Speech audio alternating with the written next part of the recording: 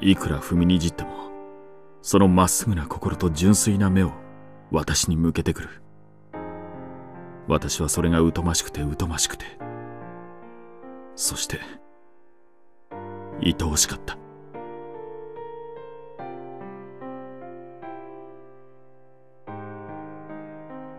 本当に。本当です。実業家として冷酷無情に突っ走ってきた私のあなたは安らぎでした。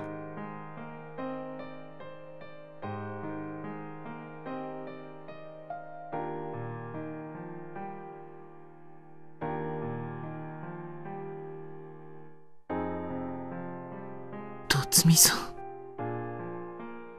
しかし私は半分騙すような形でお前を影間にしてしまったその罪悪感はお前を傷つけ恥ずかしめることでしか癒せなかったのです。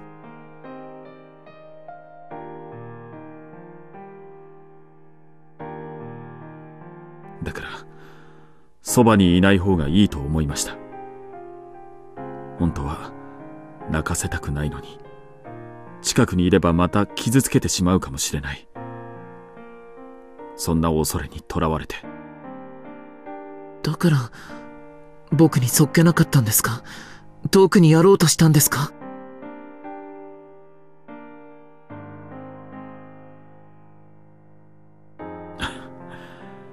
いずれにしても詭弁ですね。要は自分の気持ちを認めるのが怖かっただけだ。そのせいでシリお前には随分と辛く当たってきました。許してください。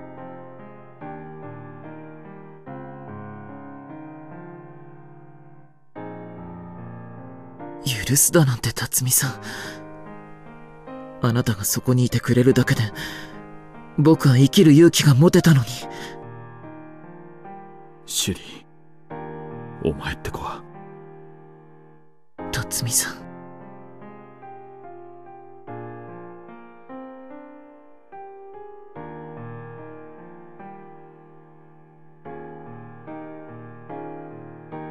ここは辰巳さんだけ他には誰にも触れさせなかったから。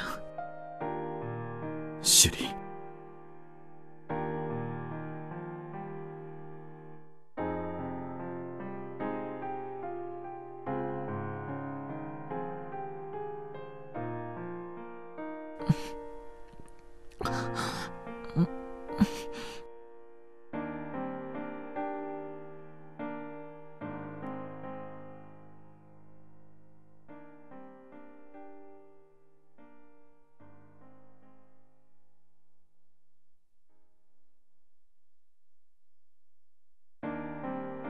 シュリー私と一緒に人生を歩んではくれませんか？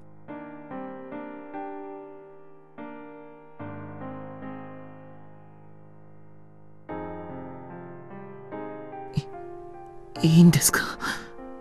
おそばにいても。私からそれをお願いしているのですよ。シュリー返事を聞かせてください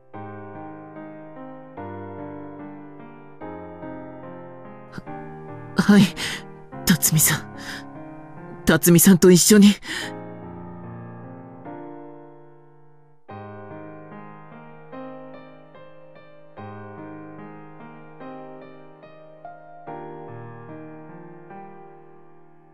さあ帰りましょう。花火師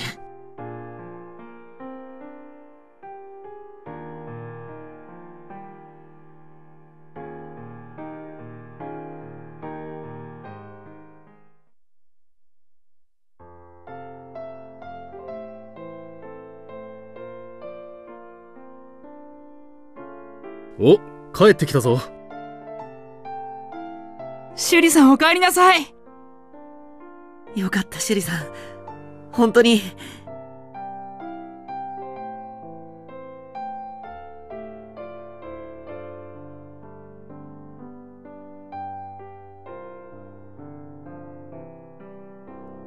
出戻りだけどみんなまたよろしくね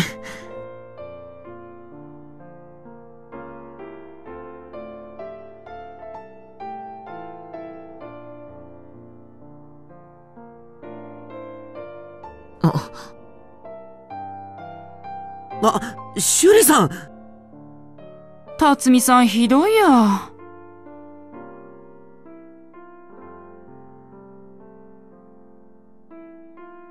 首里は今日から離れで私と暮らすことになりました。みんなよろしく頼みますよ。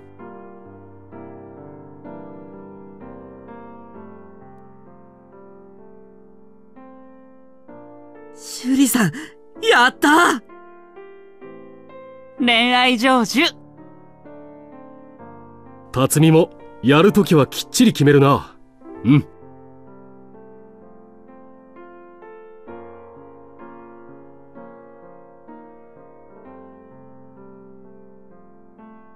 ところで私たちはこれから大切な用があります邪魔をしたらお仕置きですよ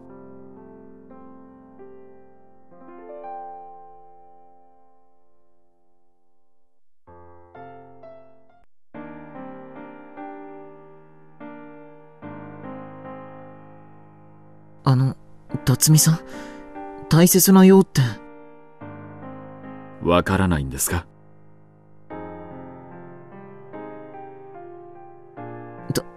辰巳さん、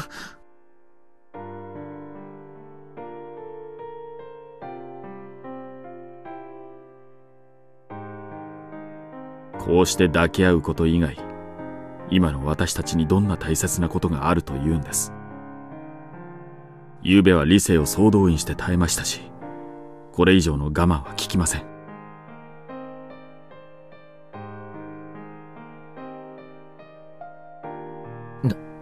だって辰巳さん、昨べはとっても、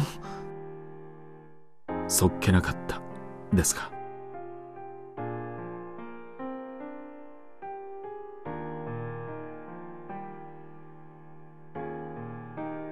はい。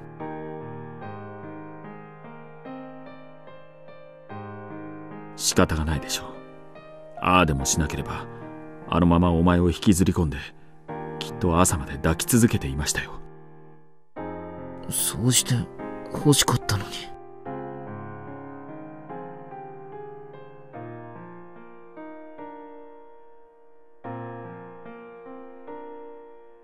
昨べはまだ私から解放してやることがお前の幸せだと思っていましたからね。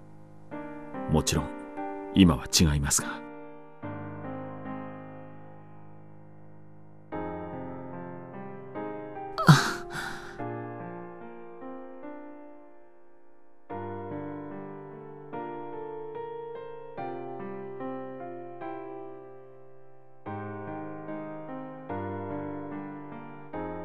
辰巳さん、抱いて。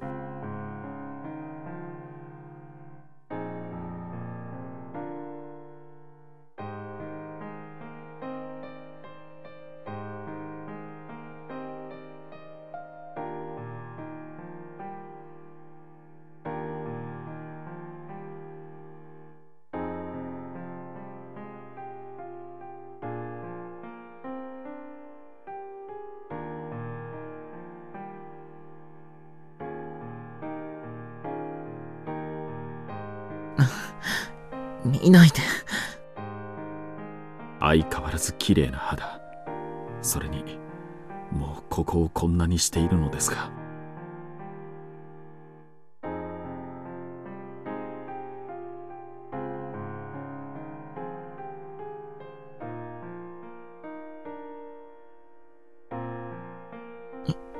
い、んで、ごめんなさい。